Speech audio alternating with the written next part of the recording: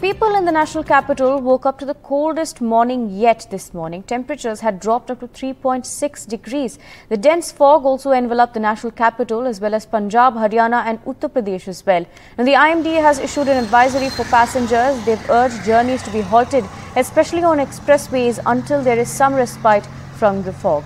Now, the IMD has marked a cold wave in the plains when minimum temperatures is 4 degrees Celsius or less. Remember 3.6 to 3 in parts of uh, the national capital was recorded uh, early this morning. Now, Saturday in fact was the first such a cold wave day for Delhi so far this winter. In January last year, remember, Delhi recorded 8 cold wave days and these conditions now are expected to persist tomorrow as well. A dense to very dense fog also remains on the forecast for Delhi in the next uh, four days, is what we're learning. My colleague Shubhang reports from Delhi. Take a look.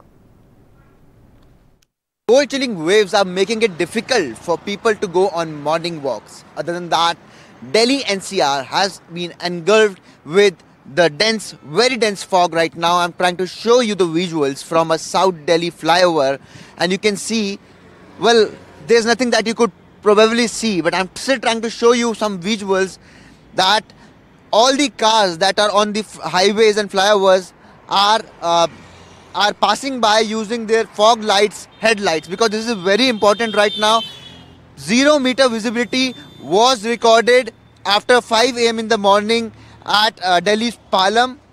Well um, according to the IMD right now around 25 meter visibility is being recorded in Delhi NCR region.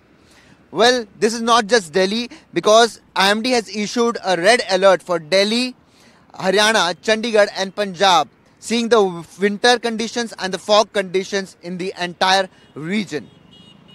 Other than that, the pollution levels have been increasing rapidly because today's Delhi's overall pollution right now stands above the 400 mark, above the 450 mark, which means it's in the severe category. Well, whenever uh, the pollution enters into the severe category, GRAP 3 is initiated by the CQM, CAQM, but for now, CAQM has not uh, initiated GRAP 3. GRAP 1 and GRAP 2 have been implemented, which were earlier also implemented. Other than that, Noida is also in the severe category above the 400 mark. Other than that, Gurugram, Ghaziabad, all uh, and Faridabad, all these three other places are right now above the 300 mark, which means in very poor category.